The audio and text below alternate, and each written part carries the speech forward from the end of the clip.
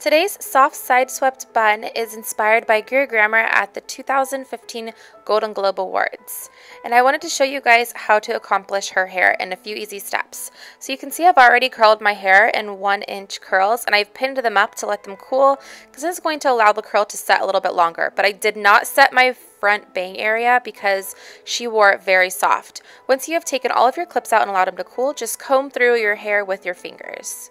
Then what we're going to do is start adding a little bit of tease at our top of our hair. So I'm just going to be going in, taking one inch sections and adding some soft teasing to the very root of my hair because we need a little bit more volume and lift for this look.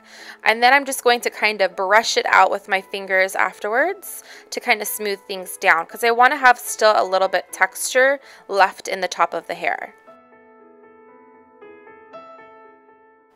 And you can see it just gives us more volume to this style. Then what we're going to do is section right behind our ear going up towards our part or our crown area. And I'm going to take a section like so and then I'm going to do the same thing to the opposite side. Taking all of the hair forwards, we're going to do all of the hair that's in the back into a low ponytail. So I'm just going to show you guys here, it's just a quick low ponytail while still maintaining that volume in the crown area.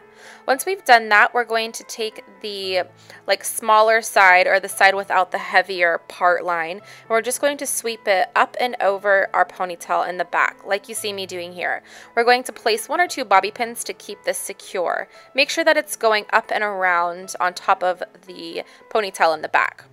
Then we're going to go to the opposite side and we're going to cut this in half. So I kind of like to go to my recession line and take all of this hair that's on the bottom. We're going to do the same thing that we did to the other side and we're going to pin this very loosely but up and over the ponytail to the other side like we did the previous one, securing it with a bobby pin or two.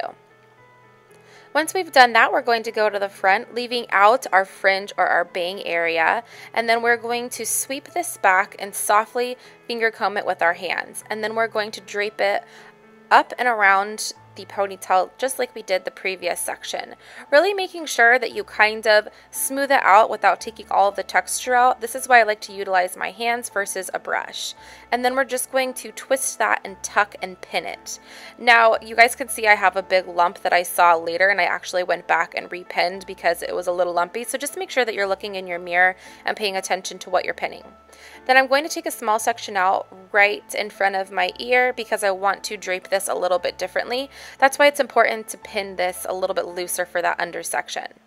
We'll come back to this strand in just a minute. First, we have to do a few other steps before we actually complete this part. Then we're going to split our ponytail in two and twist it in one direction all the way down to the very ends. And then holding on the very end of your little twist, start tugging at strands on the side of that. This is going to expand the hair and keep it in that kind of twisted style.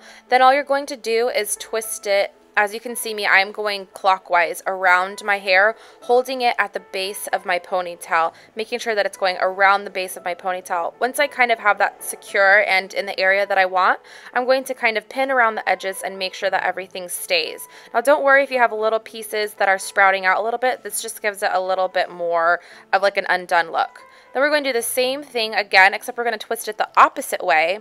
We're going to tug those little strands out on the side, and then we're going to twist it in the opposite direction. So we're going to go counterclockwise this time.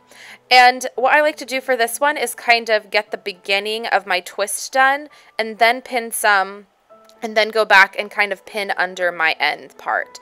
Like I said, don't worry if some of the pieces are kind of a, like a little bit sticking out. That way it just gives you a little bit more of a softer look. I really like to utilize my mirror as well to kind of take a peek at what's going around on my hair to make sure that I have all my pieces exactly where I want them.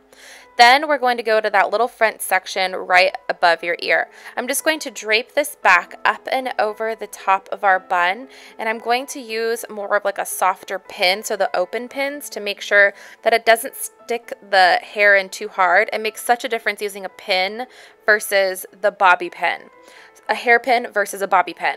So once I have that, I'm just going to kind of tuck over my ends and then kind of stick it inside the bun and then pin that so that the bobby pin is hidden once that's on there. Then all I'm going to do is just kind of separate out my bangs, give it a nice hairspray, and we have finished our really gorgeous kind of effortless side swept updo. I hope you guys enjoy.